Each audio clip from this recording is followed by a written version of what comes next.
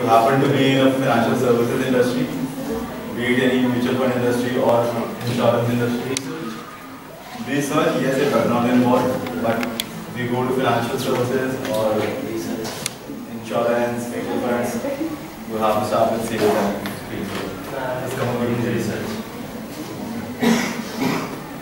So that's topics that I want to cover today is uh, basically would help you in understanding whether you actually like finance or not.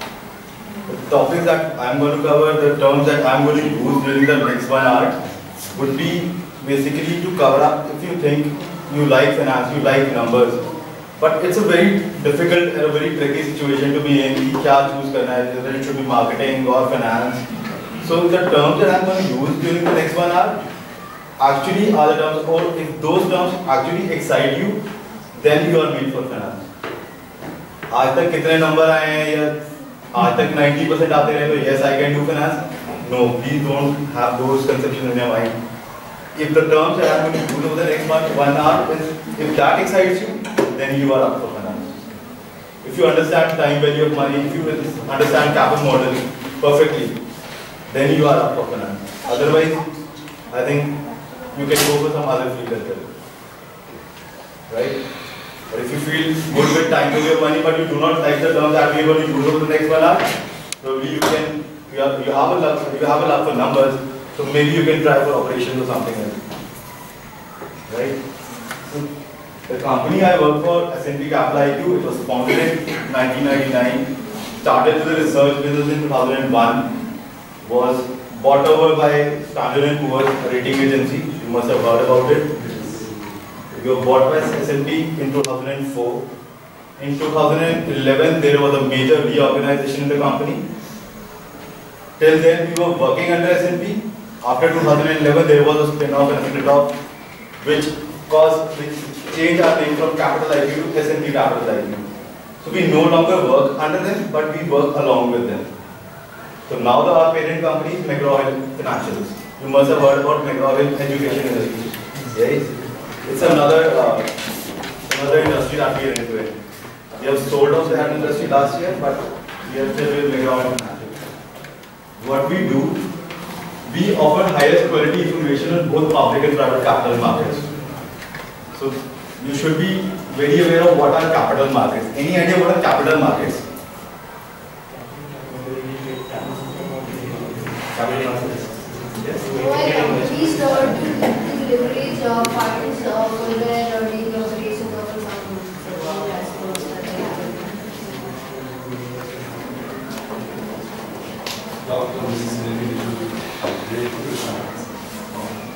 up here.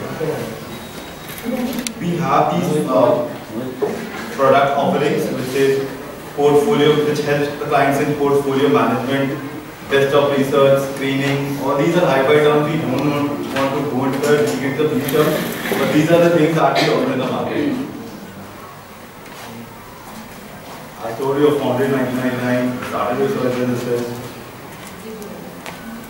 So we have already completed 12 years of our business now. This is our structure. The information what we provide is, we cover public and private companies, we cover investment firms, what are public companies? What are public companies?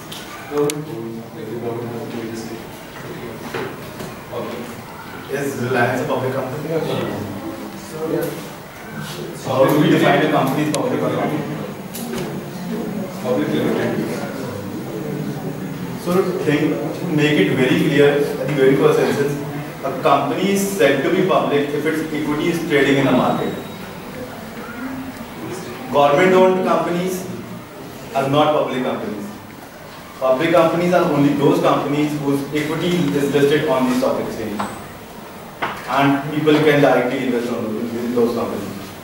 Those are public companies. So Reliance is a public company. Right? We cover public funds. We all know what are mutual funds, hedge funds.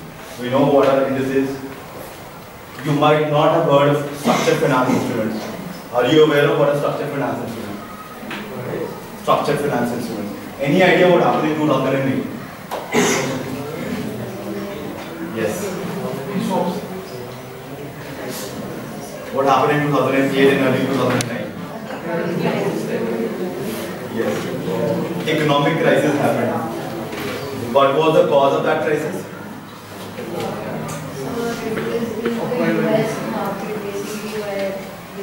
The banking, the banking sector, the banking sector, the were the, the, the bank was the Which banks were?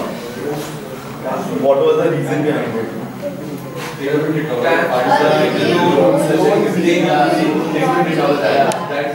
pressure over there. So loans were issued on loans, loans again were issued on loans, loans on loans, loans and loans. When you issue a Unsecured. yes, when you issue a loan over loan, loan over loan, those kind of loans are categorized under structured finance instruments.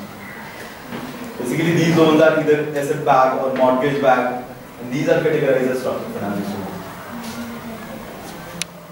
And these constitute the biggest anything uh, which is currently affecting the financial market. The biggest problem or that caused the financial crisis and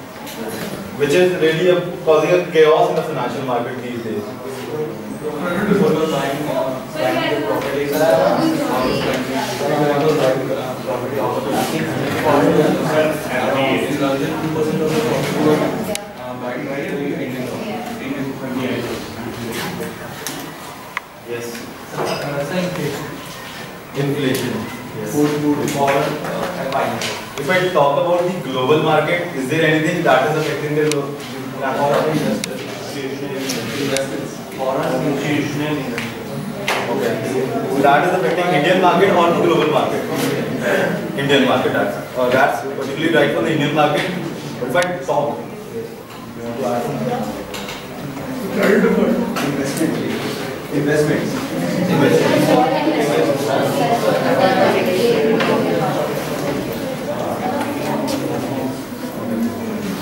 The thing that is affecting the financial market these days is the data management. N number of securities are issued in single day.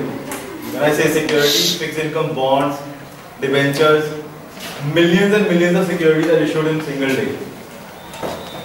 These securities are rated, these securities are valued, everything is done. But the management of such huge data is the biggest biggest problem in the financial industry these days.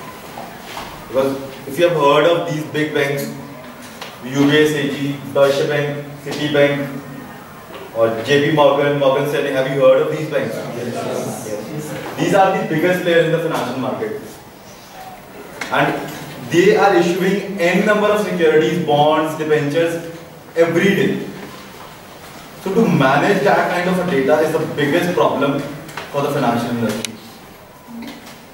In the, uh, during the 2008, uh, what happened was, they, these were the institutions, they were issuing a number of securities.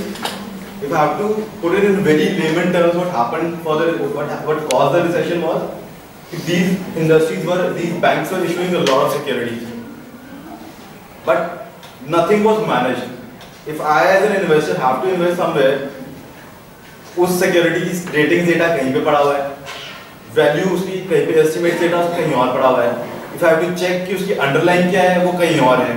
So the data was not exactly managed so after a while after continuously issuing all those securities किसी को कुछ पता ही नहीं था कि पैसा लेना कैसे है from home I am going the money who have to take the money back nobody knew और पीपल स्टार्टेड डिफॉल्टिंग खराब लोन दिए गए निंजा लोन दिए गए पीपल स्टार्टेड डिफॉल्टिंग तो जब पैसा वापस ही नहीं आ रहा था तो even these banks which were so big in themselves ऐसा लगता था कि ये कभी भी फेल नहीं होते but they also started defaulting we know Lehman failed we know Bear Stearns failed and we know even AIG was on the like it was also about to lose all, all its money so that is the biggest problem that the financial industry is facing this time That's a data management.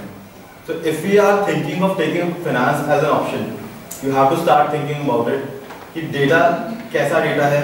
How to manage it this is what the industry is going to going to do in the next next year to come जो भी jobs finance में आने वाली है if you are if you are interested in taking a research kind of job that is the job you would be into research data management कैसे करना है? Initially what we used to do was data database में डाल दिया SQL table से pull कर लिया. That is not the way right now but it's those are the process Data is so huge, even SQL is not working fine. We have to come up with different ways how to manage this kind of data. Because if the data is not managed, if you don't actually know, you have issued the money, but you don't know from whom you will be getting it back, so chaos of it will create a complete turmoil in the industry. So for a very well integrated uh, financial system, we need to have a certain data management process. So if data interests you, then you are up for Otherwise, don't think of taking up finance in the few years. So what is SQL? SQL is. It's a sort of computer language that is used for putting, pulling out all the data. Right? So what is actually internal? Ninja rounds are loans given to people who are uh, who do not deserve those loans. Actually, if you say the full form is you can take it out of the full form here. But people who don't deserve those loans, who are bound to default after a certain point of of time, even they are given a loan because there is no scrutiny, there is no management of data. Banks are defooling themselves by issuing those kind of loans. They're thinking they are generating money, but at the same time they are not generating money, but they are losing out on money and money. So the data management is the kind of job that will come up in the next few years. And for managing data, you need to understand what is the financial system. So that is what we are going to cover over the next half an hour. Financial system में कौन कौन सी terminology use होती है and if those terms interest you, then you are up for it. Otherwise, you don't take up finance. Right? So it's very simple. Because सब यही कहते हैं यार इंटर्नशिप करके देख लेते हैं जो चीज़ में इंटरेस्ट बनेगा वो स्पेशलाइजेशन ले लेंगे most of you would have this in mind चाहे मुँह से कोई भी बोल रहा है फाइनेंस ले लेते हैं मार्केटिंग ले लेते हैं but at the back of your mind you know कि चलो इंटर्नशिप करके देख लेते हैं you still not clear I am very sure because जब हम भी पढ़ रहे थे तो हमें भी पता होता था कि यार समझ में नहीं आता था सिर्फ़ टफ क्वेश्चन यही था कि फाइनेंस लेनी है या मार्केटिंग लेनी है right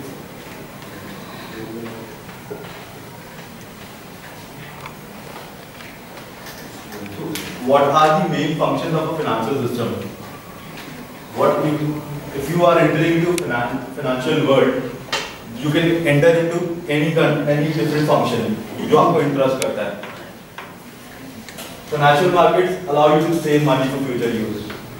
You have banks in the institutional system that allow you to save money. So one sector that you can up into is banking sector. The other is that you can borrow money for current use. Again, banks are there to give you money. Why would you need money? Either to buy a home, buy a car. If firms raise money, they, they need money for future expansion. If government raises money, they want it to build up infrastructure. So when we are talking about borrowing money or saving money, don't think it from the perspective of an individual. It could be from the perspective of a firm or from a government, government as well. Right? You can raise equity capital. We know what are stock markets. People go for IPOs. Why do people go for IPOs? Anyone has an idea what is an IPO? Initial public offering. What happens in an initial public offering? Like you said, uh, they go to the stock markets to raise funds, uh, to finance the day's operations, or, or, or to get, for their future investment. People invest so it uh, gives more money, get more leverage. that they can- So when people go for an IPO, they raise money from an equity. They raise money through equity. They share the their company's profit with you, and they raise money from you. Right? That is one another function that you can think from the financial markets. If you're thinking about raising equity capital, you can be ending up in an investment bank, and that is the most sought after industry of financial institutions. If you end up in an investment bank, nothing like it. That's the best industry to be in. Money है पैसा है शौहरत है जो जो सब कहते हैं सब है?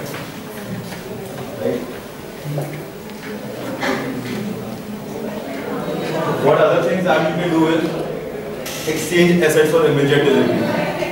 See, I am as a company, I am dealing in manufacturing of certain assets. I am selling it in, I am uh, manufacturing those assets in United States. But I want to sell it in India. So if I wa- I'm getting the returns in Indian rupees, so I have to get it converted to dollars. So that again helps what is happening in the financial system. So you can end up in a FX market as well. Trade in a market. Securities. When I say security, what are securities? Securities are fixed income, equities, and pool investment trust.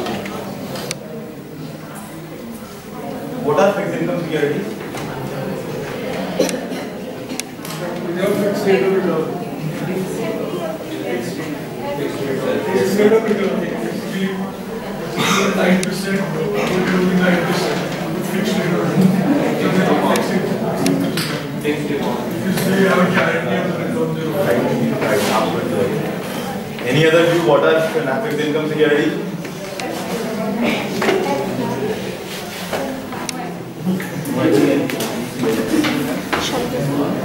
securities?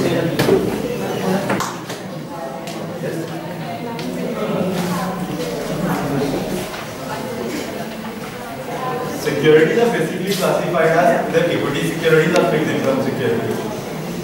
Equity are those in which a company shares the profits with you. They share the voting rights with you. Rather, fixed income security, they only have a, like, uh, they take a borrowing from you. And then they have to pay it after certain period I have to talk about a certain thing that is very new to the market and is coming up concept, that's a behavioral finance. if you go to US, if you happen to be in US and if you see what kind of trading happens there, तो वहाँ पे trading का format बिल्कुल बदल ही चुका है if you talk about कि किस से क्या किस स्टॉक में हमें इन्वेस्ट करना चाहिए किस स्टॉक में हमें नहीं इन्वेस्ट करना चाहिए people used to go by कि कंपनी में क्या हो रहा है इंडस्ट्री कैसी चल रही है।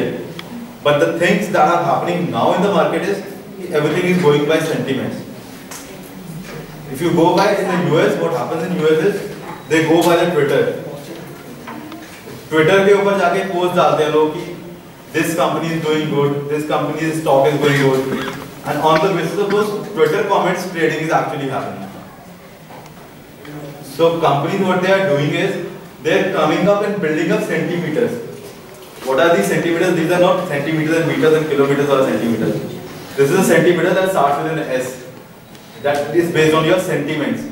So people come up with sentiments and they try to find out what kind of stocks are good for the market. And this is a very new and niche industry that is coming up.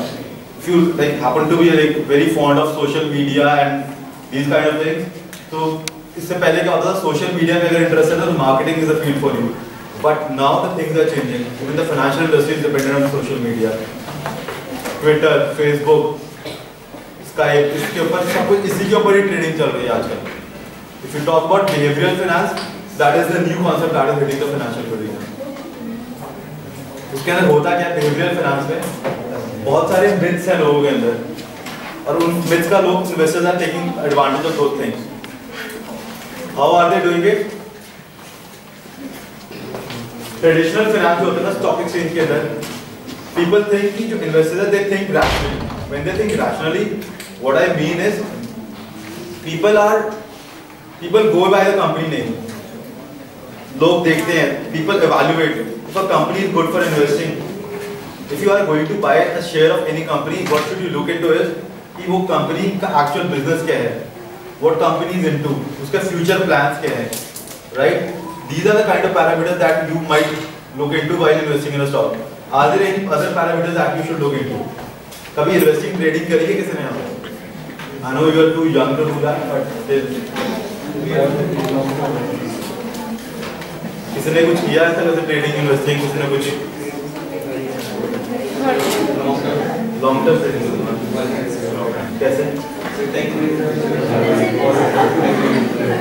guys you can listen to his experience. He is sharing something. There are products here of It's for 800 per unit that time. Uh, now it's for 18 something. The thing is, people when they are investing in stocks and all, they what they look at they look into what the company is doing, what are the future plans of the company. But does people actually look into these kind of things? People actually don't do this.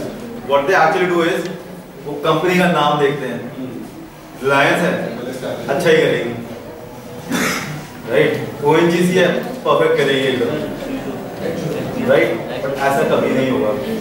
Her company एन में trade करती है they will go do good no वो company trade on Nasdaq would they do good probably not so जो मिल होता है लोगों के दिमाग में कि good company always give you good return and good company on good market would actually give you good return actually this is not a thing what about the trade on Jomo these are on CNBC right if you follow those guru ना they will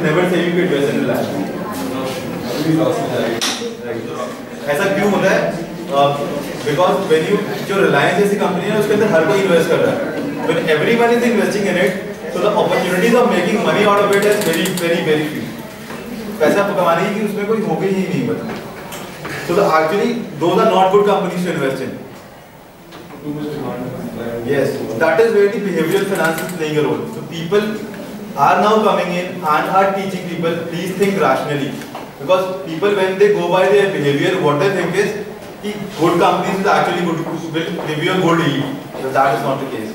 So that is where the behavioral finance and centimeters are coming in and telling you yes this is not the way ऐसा नहीं होना चाहिए but people are trying to change now.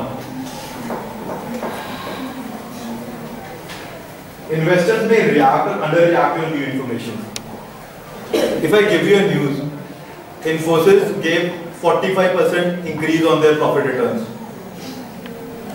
So what should happen to the stock of the company? So the price. Infosys के stock की value बढ़ेगी या कम होगी? When Infosys says कि उनका profit has increased by 45%.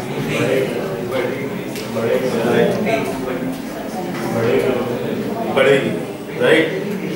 But if I were to to- tell you कि market expected the profits to rise by 70%, but they rose by 45%. So when you are valuing something, you, we need to value expectations versus what is the actual result. So if the expectation was 70% and the end result is 45%, then the prop, then the stock might fall, right? And अगर यही expectation would have been 20% and the end result is 45%, then what would happen is क्या होगा? large amount of increase. और वो increase क्या कैसे होगा? Is actually very high. होता क्या है? अगर 25% इसने extra result दिया है, if you think rationally, तो stock percent stock को 25% तक के ऊपर जाना चाहिए. But does that actually happen? No. होता क्या है कि एक अच्छी न्यूज़ आई, हर इन्वेस्टर उसमें इन्वेस्ट करना शुरू कर देता है. So people tend to overreact to a situation. So when people overreact to a situation, stock price at 25% increase होना था वहाँ 50% increase हो जाता है. And which is not actually stock price की इतनी value नहीं है.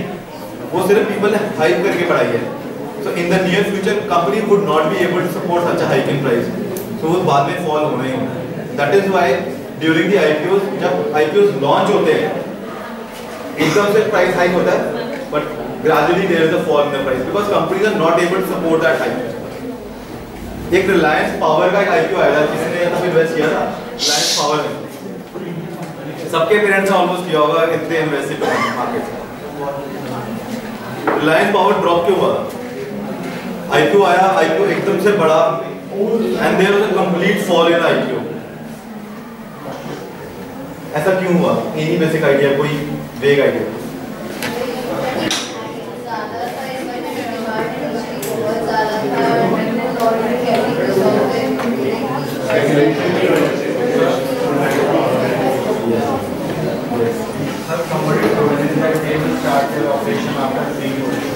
Right right that is the basic reason एक कंपनी ने जब they have gone for an IPO they have taken money for you from you but to support that kind of hike the company should have operations to back it but company might company के पास तो operations थे ही नहीं company didn't have any assets they didn't have any functioning कोई उनका operations नहीं था when you don't have any operations to back your back the money stock is bound to fall So that is the major reason Reliance Power का IPO अगले दिन ही गिरा था there was steep fall in it. Right? So people tend to overreact to a situation. That is why again where the behavioral finance come into picture. People are trying to the investor gurus that like gurus you sort of talk about. They are trying to teach people think rationally. This is not the market is supposed to work. एक अच्छी news आई है everybody goes after that company that hikes company का stock price सीधा बढ़ जाता है and then takes complete fall हो जाता है right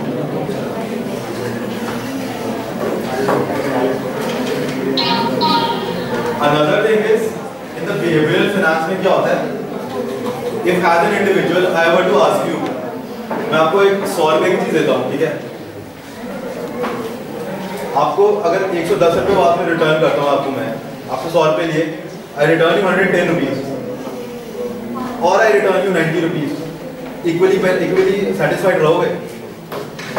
Yes so the amount of happiness that you would get out of, like 110 rupees, and if you compare with the amount of dissatisfaction that you would out of the 90 rupees वो कभी भी same नहीं होगी मतलब financial industry सोचती यही है कि अगर एक चीज़ सौ रुपए से एक सौ दस रुपए जा रही है एंड एक सौ दस से अगर नब्बे रुपए पे आ रही है if the mathematical number terms loss and increases of 10 rupees but the people do not take it in the same way people like gains more than losses that is what is called as live that is why if अगर company का stock अगर पाँच रुपए पर जाएगा ना people are after that stock but if the stock falls even by one rupee people will no this company is not good right Change the channel. Right. क्योंकि that is what is loss aversion. That is again where the behavioral finance is coming to picture. People do not want to invest in companies which are giving you losses, even though the losses percentage is very very less as compared to the gains. Right?